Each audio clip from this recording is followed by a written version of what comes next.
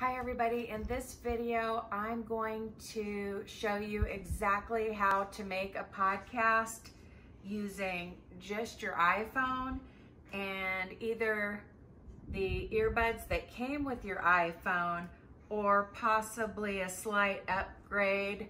This is a Turtle Beach headset that I usually use and then this is a Shure microphone. But I'm gonna take you through everything from editing to just the logistics of recording. This is for people who are not techies. They have something to say and they want to start a podcast. Okay, now if you're just starting out and you don't want to spend any money, it is possible to record your first few episodes using the earbuds with the built in mic that you use just to chat on your iPhone. These do have a pretty decent sound quality. However, I will warn you that if you're kind of fidgety, these can pick up kind of a rubbing sound against your clothing. You can kind of hear that rattling sound in the recording. So if you do use these, I caution you to remain very, very still. Another thing that probably came with your iPhone is this little adapter. This allows you to use other types of microphones that don't necessarily have the little lightning plug. So with a headset like this, having this boom arm eliminates the problem of the microphone picking up a lot of sounds around you. Obviously, you still need to record in a really quiet environment, but it's going to amplify the sound from your mouth above other sounds, whereas if the microphone were down here, it's just picking up everything. So with this Turtle Beach gaming headset that someone in a podcast group recommended, I just plug in the little adapter so that I can plug this into my phone. Right now, there is some background sound. Since this is a video, I'm not that worried about it. I'm not that worried that the fan is on or that my husband's sitting next to me and might get a notification on his phone because this is kind of a visual thing. But because podcasts are audio based, it can be really distracting and off putting to hear anything other than the person's voice. And obviously, I'm not perfect. Sometimes there are some minor bloopers. But the two places that I like to record are either in my car or in my walk-in closet. I will tape my outline to my steering wheel so that I can just look at it without touching it. When I first started podcasting, it was really important for me to use a free app. I, I just couldn't stomach the thought of paying to do something that I was doing to try to make money. So I went with Anchor.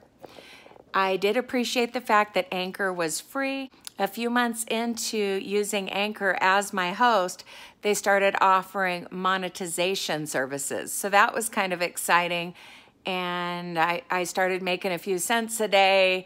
And I actually got to the point as my podcast grew that I was averaging about $500 a month in income through the ads that they kind of hooked me up with through their program. The problem was that these sponsorships would end. Sometimes they would end when they got to a certain monetary level or a certain time period, and Anchor wouldn't even tell you, they wouldn't or couldn't tell you how long a sponsorship would last. And then if it ended, they'd be like, they'd send you an email, we're working hard to find you a new sponsor, but you had no idea if that was going to take two weeks, two months.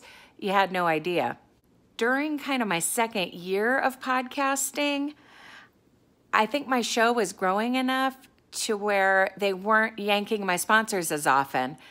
For almost an entire year, I had two sponsors, and that was Anchor and Spotify, which Spotify bought out Anchor, so it's kind of the same company, but I had those two ads. They were host read ads that I read and then at the click of a button basically inserted them into my episodes. So it was a good thing and then all good things come to an end, it ended. And I always felt like when I would email support or whatever, they were polite, but it was kind of like, well, you know, we, we don't guarantee you to have a sponsor at all times or concentrate on growing your show. And I'm thinking like my show's growing pretty fast. Like, you know, there's a guy that's kind of like a podcast guru, Dave Jackson, and he always says like free is not a good business model. He doesn't recommend Anchor as a podcast host for that reason. yeah, I started kind of wondering like, maybe I should just be paying for a service. What I ended up doing is switching to Spreaker. After almost two years with Anchor, I switched to Spreaker. And there's already been people who've made videos about that if you're wanting to switch from one host to another. But this episode is just how to get started, how to edit, how to, you know, how to produce a podcast. So that's beyond the scope of this video. But I ended up switching to Spreaker and I'm paying $20 a month, which I feel is well worth it. I'm making more than that through their monetization program. So it's not like I'm really paying that out of pocket. I'm not losing any money. But since I am a paying customer, I feel like the sponsorships aren't just going to end, and I don't think they are because it's more like these radio style commercials instead of a host read ad there are just these commercials that come on, like some guy telling you to shop at Circle K or whatever, like what you would hear on the radio. Very professional. They come on and you make money when people hear those ads. So I'm really liking that. Now, if you listen to my podcast, Clean With Me, you might notice that I do still do host read ads, but I'll, I'll get to that later, but that's something separate. Um, some people don't want to admit that they're into podcasting to make money.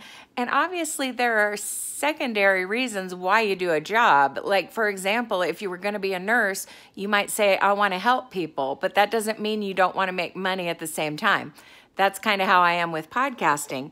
I created my podcast because I thought it would be helpful to others, but of course, I want to get paid for what I do, and I'm not ashamed of that.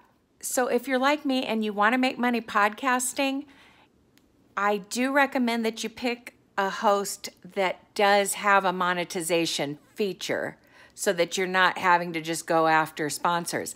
Yes, I do get sponsors outside of my podcast host, Spreaker, but start out with something that has that onboard advertising, and the Spreaker is the easiest one. Like, I feel the $20 a month in hindsight, I would have started with Spreaker. I feel like the $20 a month is just well worth it to have that monetization from the get-go. And if you're if you're thinking like I'm never going to get popular enough to cover that $20 a month, then don't start a podcast. Remember I said I was using kind of the built-in monetization feature that's available through Spreaker on the plan that I'm on. The, the Spreaker does have a free plan if you want to start out free, but you won't be able to monetize until you upgrade to one of the paid plans. So if you want to start out free, start with their free plan and then you can always upgrade. And one of the things you get with the upgrade is the monetization. But aside from those commercials that they'll put in for you, remember I was talking about host read ads? One way to get host uh, read ad gigs is to sign up with a company called Podcorn. Go to podcorn.com to do that. Or if you just get a, a large audience, basically people are going to contact you about sponsorships in in your niche. So now that you've thought about which podcast host you're going to go with and and maybe you're not going with Spreaker like I am, you're going with another one that's fine. Um, you're still going to find this video super useful. So once you decide on your host, where you're going to record, what you're going to record, you have an outline or whatever. Once you figure all that out, you're going to want to decide how you're going to edit your podcast. And oftentimes the host has a way of editing. You can talk directly into Spreaker and go ahead and edit it there but I, I, I, like to record into a different app, edit it, and then upload that completed file. And the app that I use to record into is called Ferrite. And I use the paid version of it. I think when I bought it, it was a one time purchase. It was like $29.99 or something to get the paid version.